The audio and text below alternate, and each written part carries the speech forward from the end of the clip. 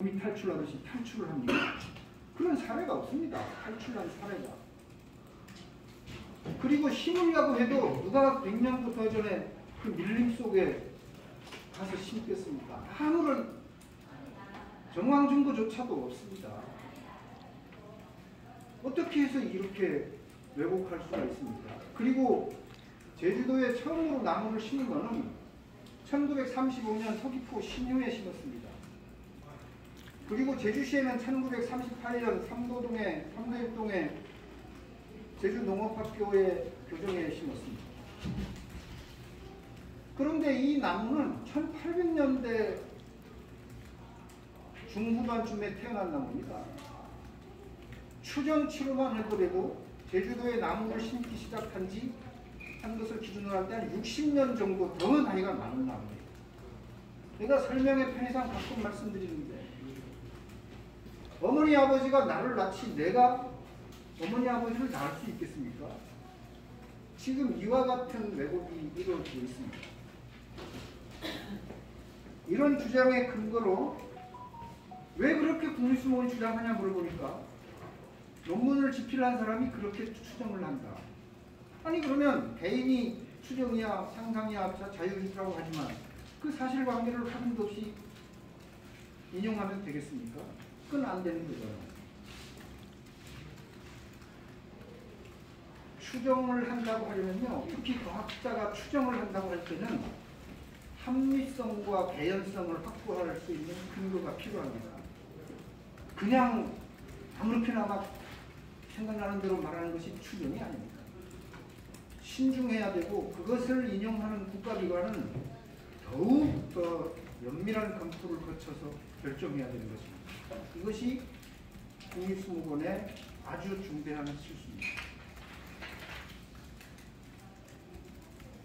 지금까지 왕건나무는 어떠한 자료를 다 뒤져봐도 재배 중에 생태계로 탈출한 사례는 없습니다. 제주도에 왕건나무를 처음 심은 것이 아까 말씀드린 대로 1935년도다. 이러한 것조차 조사하지 않고 현장 조사를 아예 생략했습니다.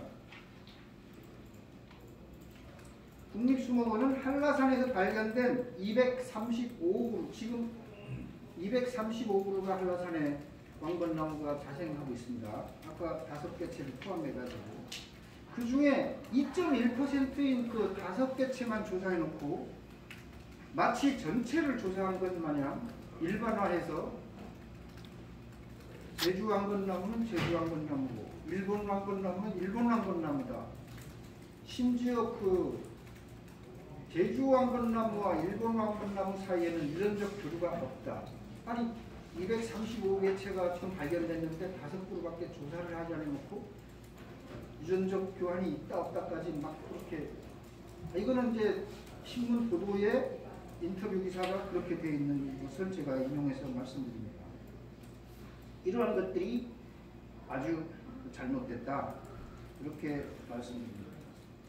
지금까지 발견된 자생 왕건나무 중 이제 단 2%만 가지고 이러한 것을 논한다는 것은 논리적으로도 일반화의 오류라고 하는 아주 명백한 오류에 속한다. 지적하지 않을 수 없습니다.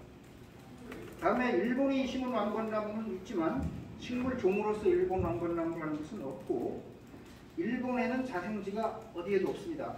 만들었다는 증거도 어디에도 없고 한라산에는 일본에서 가지고 온 왕건나무든 일본에 심은 거든 미국에 심은 거든 그거가 똑같은 유전적 형태적으로 같은 것도 있고 여타의 유사한 방건나무들이 쭉 있습니다.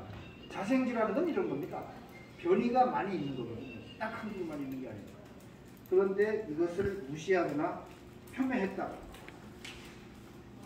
국립수목원은 자생하는 왕건나무 중 재배 중인 왕건나무가 유전, 유전형이 거의 같으면 일본 왕건나무를 하고 이 나무를 재배 중 생태계로 탈출한 나무라 하는 등 기상천외한 주장으로 자생지를 폄훼하며 양친이 어떤 품종인지조차 특정하지 못했으면서 왕건나무가 일본의 것이고 제주의 것은 다르므로 원산지 논란이 끝났다는 식의 강변으로 한국 고유식물인 왕건나무의 생물주권을 포기하면서 그렇게 함으로써 현저하게 국익에 반하는 결정을 내렸습니다.